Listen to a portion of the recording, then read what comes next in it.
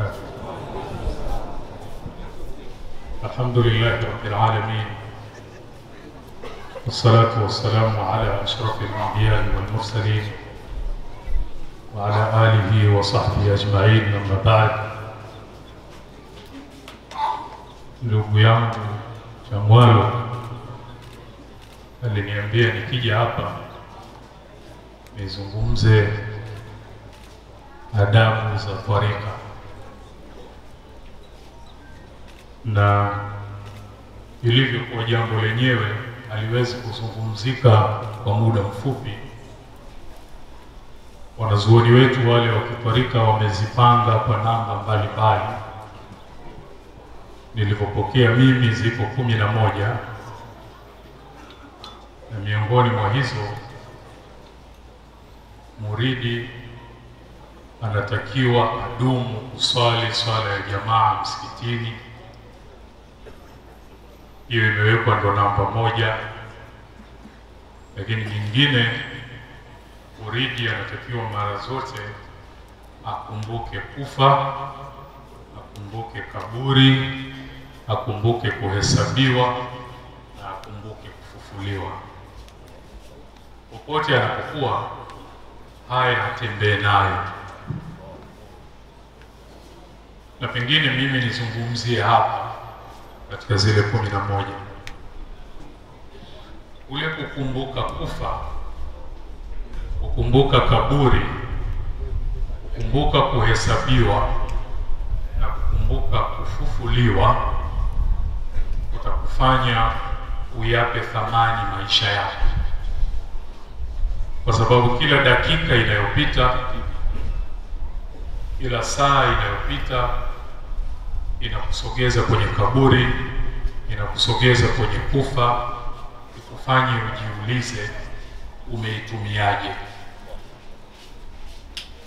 Ukiweka mkono kwenye moyo wako, utasikia moyo unapiga. Wataalamu wa moyo wanatuambia moyo unapiga mara hamsini mpaka mia kwenye dakika moja kwa mtu aliyo na afya nzuri, ikipigwa hesabu ya mara laki moja na mara milioni thelathini na tano kwa mwaka. Umri wetu wote ule wa kawaida mpaka mtu anaondoka, moyo unakuwa umepiga mara bilioni mbili na pointi tano, lakini kila unavyopiga kuna neno unatuambia. Wenyewe, wanatuambia daqatu قلب lmari قائلة له إن الحياة دقائق وثواني. Moyo ukipiga unakwambia kwamba maisha haya yamo kwenye sekunde na dakika, unazitumiaje? Muridi anatakiwa awe na nidhamu ya namna anavyotumia dakika, saa na siku. Ndio maana kuna utaratibu wa nyiradi maalum anazokuwa kapewa. Yote ni kwamba lazima atumie wakati wake vizuri. Somo hilo linasomeshwa huko vyuoni siku hizi, watu wanafundishwa kitu kinaitwa time management, na wanasema mafanikio yoyote ili mtu apate yanaanzia pale namna gani anathamini wakati wake. Ukishindwa kuthamini wakati wako, huwezi kupata mafanikio.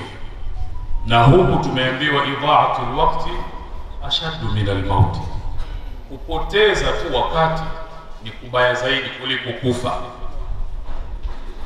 Kwa hivyo kwenye adabu ya muridi ya kukumbuka kufa, kukumbuka kaburi, kukumbuka kuhesabiwa, kukumbuka kufufuliwa, itufanye tukitoka hapa tutie thamani wakati wetu tunautumiaje. Tukitia thamani wakati wetu, tukaweka utaratibu mzuri namna tunavyotumia, tutaishi maisha muridi yanayotakiwa yenye purpose maalum, lengo maalum, dhamira maalum, nayo ni kumtumikia Mwenyezi Mungu Subhanahu wa Ta'ala. Ndio maana Waingereza kule wanasema the purpose of life is life with purpose. Ukitaka kujua nini lengo la maisha, ni yale maisha yenye lengo maalum. Wewe maisha yako unaishi, lengo lako nini? Haya ni maswali tujiulize, na sisi tukiwa muridi yaturudishe kwenye utaratibu tuliopangiwa na wazee wetu. Namba moja, ili tufanikiwe, namna gani tunatumia wakati wetu. Nimewahi kusema sehemu mbalimbali, naomba nirudia hapa ili tuendelee kufikiri kwamba watu wa kidunia wanathamini hivyo. Hata kwetu Tanzania sasa ziko taaluma, ukitaka kwenda kuzitumia unachajiwa kwa saa, yaani muda unaokaa pale kama masaa mawili utalipa kiasi kadhaa, kuonyesha thamani ya taaluma ile. Sisi tunatakiwa tuwe hivyo. Niliwahi kupiga mfano nikasema, wanasema yule mwana masumbwi maarufu yule anaitwa Floyd Mayweather Marekani, yeye kila akiingia kwenye ulingo, kila sekunde yake moja anaingiza karibu dola elfu sitini na na kitu. Wanasema zile sekunde zake za raundi kumi na mbili akimaliza anaingiza karibu dola milioni mia mbili na themanini na tano. Wewe dakika yako sekunde yako unaitumiaje? Inawezekana sio kwenye madola, lakini huku tunayo mambo ya kitwarika, inataka kila dakika uendelee kutumia. Unatumiaje? Kwa hili tulizingatie katika zile adabu za, za twarika na kwa muridi. Nimesema nilizopokea mimi ni kumi na moja. Miongoni mwa hizo ni kukumbuka kufa, kukumbuka kaburi, kukumbuka hesabu na kukumbuka kufu, kufufuliwa. Haya ukiyazingatia, ukiishi nayo, yatakufanya utie thamani wakati wako. Anza sasa, ndo mafanikio yote yako hapo duniani na akhera. Namna gani unathamini wakati wako? Wassalamu alaikum warahmatullahi wabarakatuh. Wa salam wa rahmatullahi